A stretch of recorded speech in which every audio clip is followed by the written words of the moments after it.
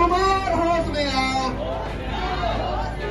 नीतीश कुमार होश में आओ।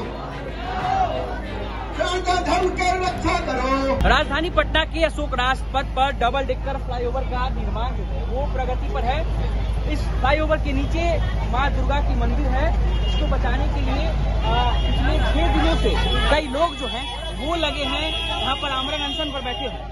आपको बता दें कि यहाँ के लोगों का कहना है कि बिहार के मुख्यमंत्री नीतीश कुमार और लालू प्रसाद यादव जब छात्र राजनीति करते थे तो वो इसी मंदिर में पूजा करते थे इसी मंदिर के प्रांगण में बैठे रहते थे और यही मत्था टेक कर आशीर्वाद लेने के बाद जो है वो आ, आगे की राजनीति करते थे। ऐसे में यहाँ पर संजय कुमार सिंह स्थानीय निवासी हैं। ये अनशन पर बैठे हैं। पिछले छह दिनों से हम इनसे बातचीत करेंगे। छह दिनों से आप लोग अनशन पर बैठे हैं। क्या मांग है आप लोग का? पहला मैं स्पष्ट पहला मैं स्पष्ट कर देना चाहता हूँ हम लोग विकास विरोधी नहीं है। बोलिए। हम लोग विकास विरोधी नहीं है। मेट्रो बन रहा है हमारे लिए बन रहा है। हम इसका स्वागत करते हैं। डबल डेकर पुल बन रहा है ये भी हमारे लिए ही बन रहा है। हम इसका स्वागत करते हैं। लेकिन ये तीन सौ वर्ष पुरानी ये ऐतिहासिक मंदिर है। ये अशोक राजपथ की पहचान है।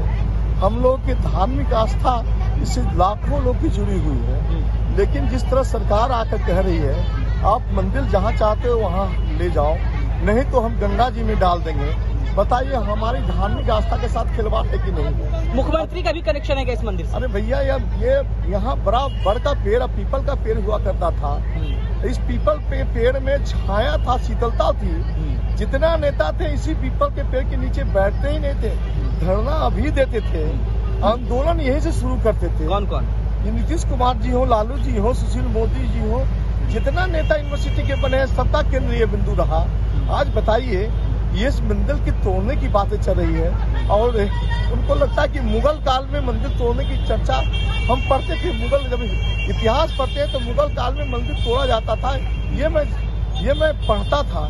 लेकिन ये दुर्भाग्य है कि नीतीश के कार्यकाल में मंदिर तोड़ा जा रहा है। पाँच छह मंदिर तोड़ दी गई। आज हमारे मंदिर पर भी तोड़ने की बातें सरकार कह रही है, सीधा कह रही है, गंगा जी में डाल देंगे। इससे बड़ा दुर्भाग्य अब कुछ नहीं हो सकता। हम जान दे देंगे, लेकिन मंदिर टूटने नहीं देंगे।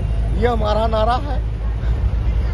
चलिए क्या लगता है, मुख्यमंत्री नीतीश कुमार की राजनीति जो है वो इसी मंदिर के आशीर्वाद से शुरू हुआ? मुख्यमंत्री जी हमारे मुख्यमंत्री जी जो थे ना हाँ, लालू जी पहले तो लालू जी थे। लालू जी थे हम्म। इन्होंने इसी जगह आके धरना प्रदर्शन करते थे। मैंने देखा हुआ है। हम्म। मैं इसी कॉलेज के सामने मेरा जन्म स्थान है नीतीश जी भी यही एनआईटी के पास एनआईटी के पास उन्होंने वहीं से उन्होंने राजनीतिक शुरू की है और इसी जगह आके इनका हर कार्यक्रम पूरा होता था।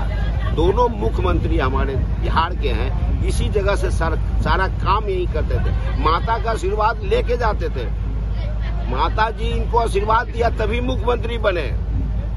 इसीलिए हम मुख्यमंत्री से निवेदन है न हम इनसे झगड़ा चाहते हैं न रगड़ा चाहते हैं। हमें मंदिर जहाँ है वहीं आपके सहयोगी कह रहे थे कि पहले मुगलों के जमाने में मंदिर तोड़ा जाता था और अभी नहीं। नहीं पहले 300 बरस पहले पुरानी मंदिर थी। सर अंग्रेज़ ने इस मंदिर को बहुत प्रयास किया।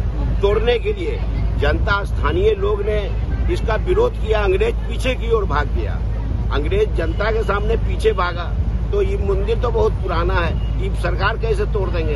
ये तो गलत बात है। जनता स्थानीय लोग का मांग है कि मंदिर यहीं रहे हमारा आस्था से खिलवाड़ नहीं करे। क्या नाम है मेरा नाम आनंद मोहन चौधरी। तो चलिए ये तस्वीर देखिए हम जान दे देंगे परंतु मंदिर नहीं टूटने देंगे।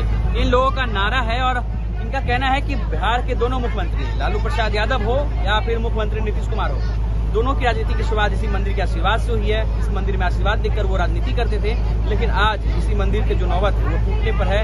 ऊपर फ्लाईओवर बनाया जा रहा है, जिसको लेकर के सरकार जो है, ये मंदिर तोड़ने की बात कर रही है, लेकिन लोगों का कहना है कि वो तब तक अनशन पर बैठे रहेंगे, जब तक इस मंदिर को तोड़ने का डिसीज़न जो है, वो वापस ले लिया जाए। अनिकेत कुमार, बिहार तक, पटना।